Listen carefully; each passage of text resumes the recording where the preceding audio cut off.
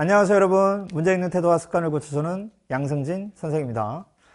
네, 오늘은 선생님이 Q&A 답변 달다가, 어, 그냥 깨달음이 있어서, 어, 선생님, 여러분 Q&A 답변 달 때, 네, 여러분들이 과연 그동안 어떤 질문을 했는가를 뭐 하죠? 네, 추적, 관찰합니다. 여러분 문제 풀 때도 사실 이제 그런 걸 자꾸 문제 내에 있는 어떤 표현 보고 단서 찾아서 자꾸 추적하는 게 수학에서 핵심이잖아요. 네. 그래서 어, 그런 걸 하다 보니까 큰 깨달음을 얻은 게 있어서 오늘 그 얘기를 해보려고 합니다. 어, 뭔 얘기냐면 아니 한 학생이 고민이 있대. 어, 그래서 어우 야 고민이 참 많겠구나. 어 그쵸. 언제나 고민의 무게감은 본인만이 사실 느끼는 거니까. 그러니까 당연히 선생님이 어 비록 선생님이 음, 당신은 아니지만 어, 자꾸 이제 감정을 이입해 보려고 하잖아요. 어, 내가 만약에 너라면 얼마나 힘들까 뭐 이런 거 고민을 하는데 어, 사실 깜짝 놀랐던 것 중에 하나가 어, 그 고민하는 친구를 추적을 해봤어. 근데 그 고민을 한 달 전에도 두 달 전에도 하고 있더라고요. 어, 이게 이게 뭐 하는 짓인가 죠 어, 그러니까 여러분들이 선생님 이제 어, 간혹가다 그런 얘기 되게 많이 하잖아. 뭐를 제발 고민은 짧게. 제발 실행은 빠르게.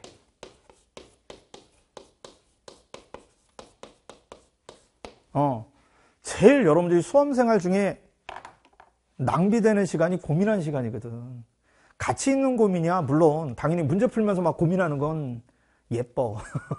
그건 잘한 건데, 아니, 그냥 문제도 안 풀면서 쓰잘데기 없는 고민하는 거. 물론 이제 쓰잘데기 없는, 없다라는 말이, 어, 어, 상처로 다가올 수는 있어. 근데 그게 이제 개개마다 느끼는 감정이 다르겠죠. 근데 어쨌거나 그런 네가 느끼는 어떤 고민거리를 절대 길게 해서는 안 된다라는 거야.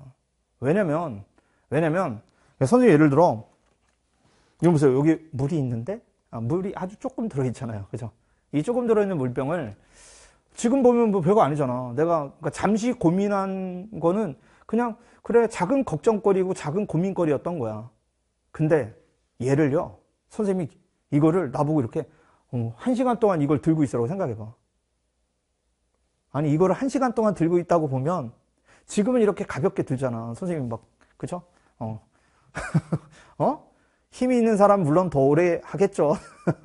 끈기와 그죠? 어, 뭐 체력이 있는 분은 더 오래 하겠죠. 근데 1시간, 2시간, 3시간, 한 달, 두 달을 이러고 있잖아요. 이 고민은 네가 고민하고 걱정하는 걸 스스로 키워나가는 거예요. 얼마나 힘들겠어 이게.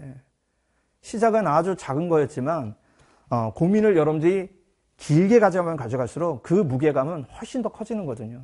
그러니까 여러분들이 그게 문제를 풀 때 어떤 고민은 좋은 태도인데 그게 문제 외적인, 공부 외적인 어떤 고민을 할 때는 절대, 특히 사람과 사람 간의 관계, 인간, 그지? 아유, 주변에 있는 친구가 뭐 이런, 아유, 살다 보면 그런 거 많죠. 네, 많아. 선생님도 당연히 많고, 당연히 상처받을 일도 많이 있을 거고, 그죠?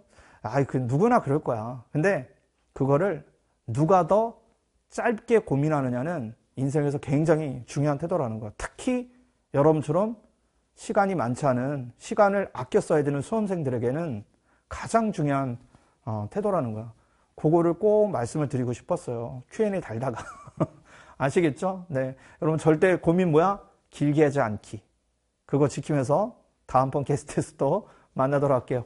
바이바이.